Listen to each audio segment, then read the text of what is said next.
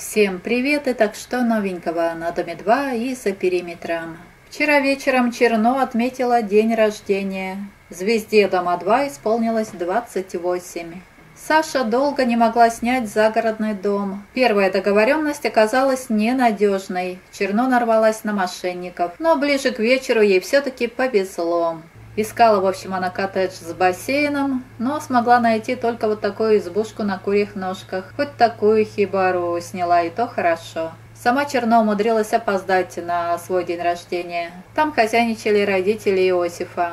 Первыми Сашу поздравили родные. Иосиф Мартынович преподнес любимой невестке букет цветов, а Иосиф подарил воздушные шарики. Репсима Аганесовна сделала праздничный стол, домашняя долма, шашлык, овощи на мангале. Были также арбузы, соки и не соки в неограниченном количестве. Смотрите, сколько еды, мечтала о таком. Удивлялась, например, Милена Безбородова.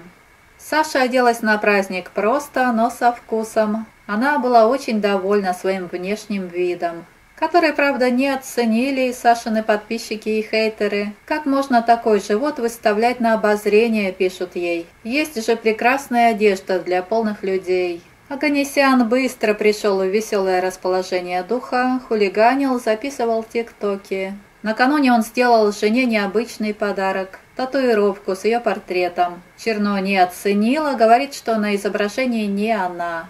А вы как думаете, удачная татуировка? Пишите в комментариях. Капаклы назвал день рождения подруги Басяцким, а саму именинницу сравнил с вором в законе. Она очень похоже сидела за столом и принимала подарки от друзей, которых завела на Доме 2.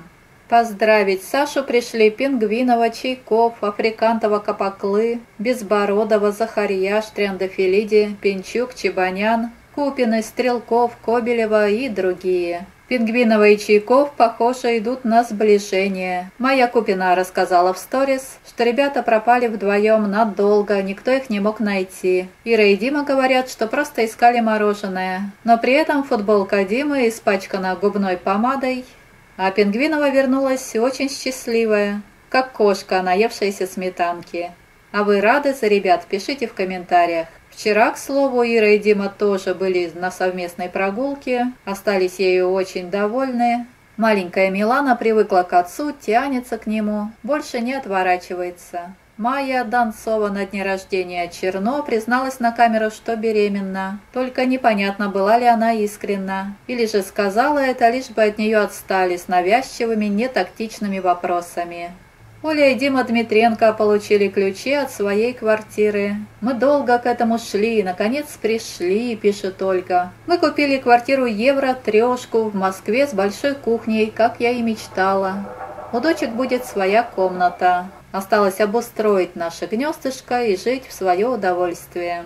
«Ну, слава яйцам!» – пишут в комментах. «Ждем эфиров из новой квартиры. Ну, там на кровати попрыгать, стены изрисовать, на столе накакать». И еще вопрос, зачем ей большая кухня? Она ведь на ней не появляется. Постоянно ошиваются в кафе-ресторанах. Знаем, как ты много трудилась, заработала на дом своим позором. И только вот один позитивный комментарий. Я рада за них. Молодцы. Ксения Бородина официально подала на развод с Курбаном Амаровым. Их семейная идиллия продлилась целых шесть лет. Бородина подтвердила информацию в телефонном разговоре с представителями издания портала «Супер». Что касается имущества, у них имеется брачный контракт. Вот Терехин вызывается помочь Ксении с бракоразводным процессом. В жизни все случается, пишет, все проходит. Она мудрая женщина и должна справиться.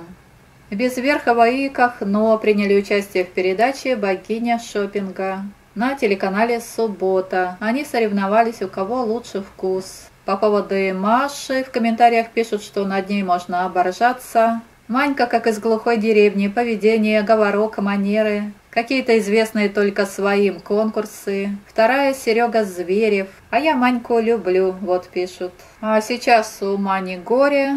Ваня съела траву для мышей. Врачи помогли, псине вроде обошлось.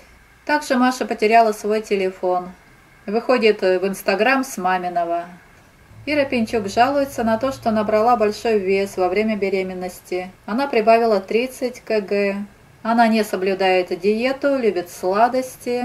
Каждый день поедает горы шоколадок и десертов. Она весит теперь столько же, сколько ее муж. А Рай подшучивает над супругой и называет ее китом и тюленем. Радость материнства омрачена одним неприятным событием. У Ириного мужа заблокировали аккаунт в Инстаграм. Можно сказать, что он потерял работу и стабильный доход. Аня Мадан и Максим Моргенштерн умудрились рассориться, находясь в разлуке. Максим уехал на свадьбу брата и вот вчера удалил большинство из совместных фото со своей страницы. И Аня тоже пишет, что у них в отношениях все плохо.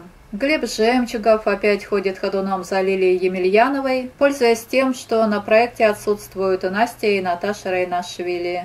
Ну а Емельянова ждет на проекте Евгения Пынцаря, брата Сережи. Она получает от парня длинные сообщения, отвечает ему и флиртует с ним. Пынцарь удивляется такому раскладу, ведь Евгений раньше говорил, что девушки ему не нужны. От них одна головная боль, и на них уходит много денег. Ну а на проекте Лиле понравился Виталий Соколов. Они встречаются, проводят время вместе, но о заселении и совместной жизни речи пока не идет. Ругаются и Ромашов с Бухенбалте. Вот последний из эфиров Кристине не понравилось, что Женя пропадает и не ставит ее в известность. Она считает, что парень ведет себя неискренне. Брянская с поехавшей челюстью после ласк Адеева уже передумала и решила дать ему еще один шанс. После всех ссор и негатива, пишет, я решила, что нужно работать над отношениями, пока есть чувства. А вот такой прикольный поросеночек у Рустама Солнцева. Он развлекает его как может. Даже качает на качелях. На этом все. Подписывайтесь, будем сплетничать.